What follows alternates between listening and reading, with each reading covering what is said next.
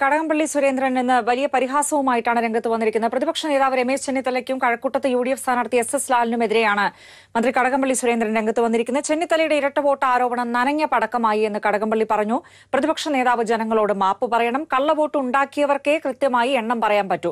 കഴക്കൂട്ടത്ത് U D F സ്ഥാനാർത്ഥി വാർത്താ സമ്മേളനം നടത്തി ധാർമ്മികത പറഞ്ഞ ആളാണെന്നും കടകംപള്ളി ഏഷ്യാനെറ്റ് ന്യൂസിനോട് പറഞ്ഞു.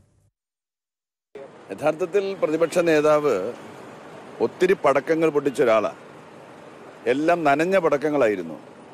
ഇതും ഒരു നനഞ്ഞ പടക്കമായിട്ട് മാറി എന്നുള്ളത് മാത്രമേ ഉള്ളൂ.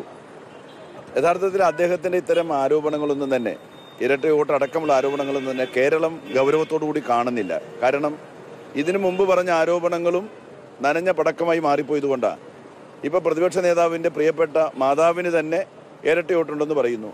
രണ്ട് ദിവസത്തിന് മുമ്പ് എന്റെ നിയോജകമണ്ഡലത്തിലെ യു ഡി എഫ് സ്ഥാനാർത്ഥി പത്രസമ്മേളനം വിളിച്ച് തന്നെ ഇരട്ട വോട്ടിനെതിരെ ധാർമ്മികമായിട്ട് വലിയ തോതിൽ പ്രതികരിച്ചു എന്നാണ് ഞാൻ മനസ്സിലാക്കുന്നത്.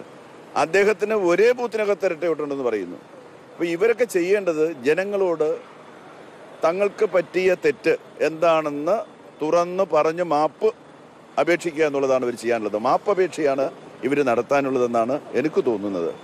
ഇവർ ചെയ്യുന്ന പ്രവൃത്തികളുടെ ഫലം ഇവർ തന്നെ അനുഭവിക്കണം. അല്ലാതെ വേറെ ആർക്കും അതൊന്നും അനുഭവിക്കാൻ പറ്റുകയില്ല. കള്ളപ്രചാര വോട്ട് സമാഹരിക്കാൻ പറ്റുമോ എന്നുള്ള ശ്രമമാണ് അവർ തുടക്കം മുതൽ നടത്തുന്നത്.